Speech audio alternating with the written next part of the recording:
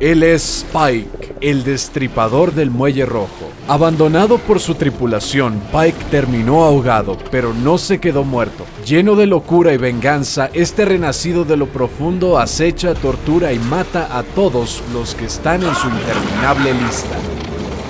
Bienvenidos a la presentación de campeones de Pike.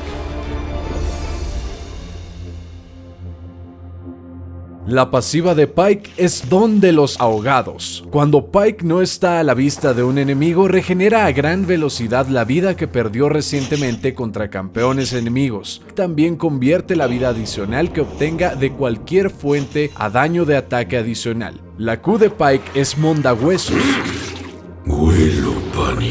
Si presionas la Q, Pike realiza una estocada rápida que ralentiza a todos los enemigos frente a él. Si mantienes la Q presionada más tiempo, Pike se prepara y lanza su arpón que atraviesa al primer enemigo alcanzado y lo atrae hacia él. El arpón de mondahuesos siempre moverá a tus objetivos la misma distancia. Puedes pescarlos a través de muros o arrojar enemigos cercanos detrás de ti. La W de Pike es aguas espectrales. Pike se sumerge en aguas espectrales para camuflarse y aumentar mucho su velocidad de movimiento. Esta velocidad decae a lo largo de unos segundos. La W de Pike es fantástica para iniciar, pero también es la mejor manera de usar Don de los ahogados en medio de una pelea. Tomarte unos segundos para salir de visión permitirá que te mantengas en buena condición mientras tus enemigos quedan salados.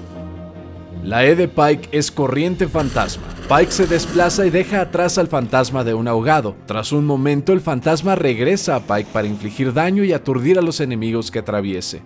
Al fantasma le encanta sumergirse y seguirá a Pike a donde vaya, sin importar lo profundo de su destino ni cómo llegue ahí. Recuerda no siempre empezar con el arpón de la Q en todas las peleas, para que no te maten. Sé impredecible y mantén variadas tus iniciaciones a lanzar corriente fantasma antes que mondahuesos. La definitiva de Pike es de lo profundo,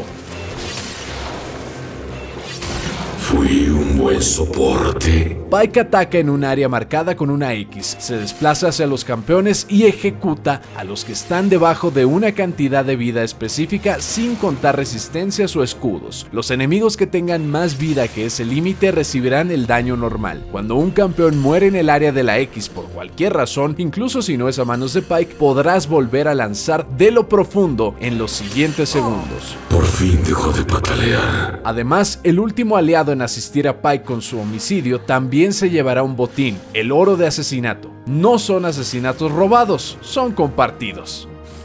En el carril, Pike estará buscando la oportunidad de enganchar, atrapar y hundir a los enemigos.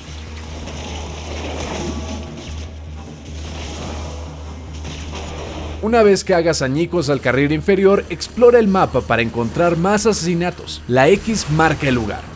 Solo asegúrate de estar alerta a posibles refuerzos enemigos en el horizonte, o mantenerte a flote podría resultar complicado.